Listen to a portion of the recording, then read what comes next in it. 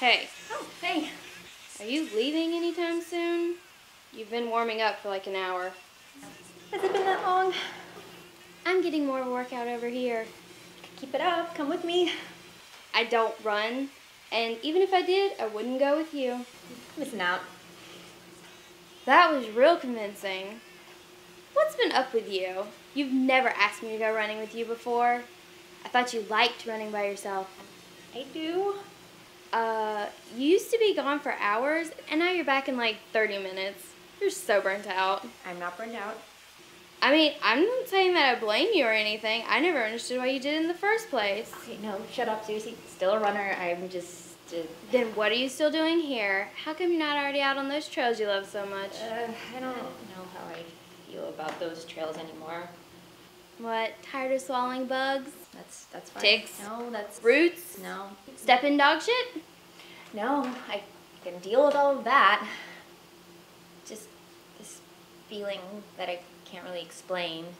Try. Just just a bad feeling I get. It's like something's left or something's arrived or something, but everything's different. You know, it's it's not the woods I grew up with anymore. It's like can't run through an open field without feeling eyes on me through the trees. I can't run without hearing a twig snap behind me. It's just something's different about the woods.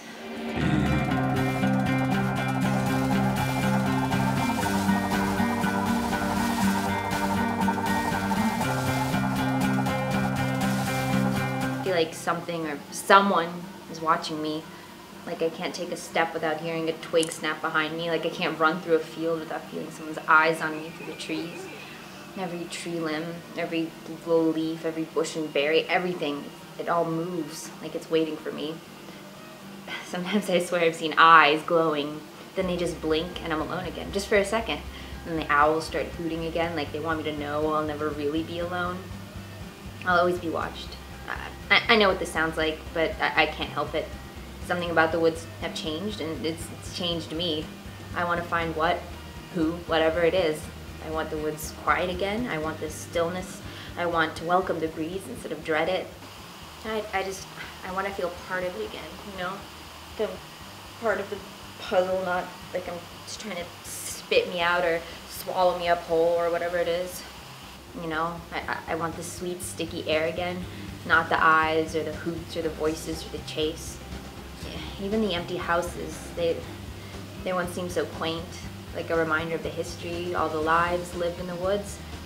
They, they seem haunted, menacing, like they're gonna swallow me up, spit me back out into the dirt that I came from.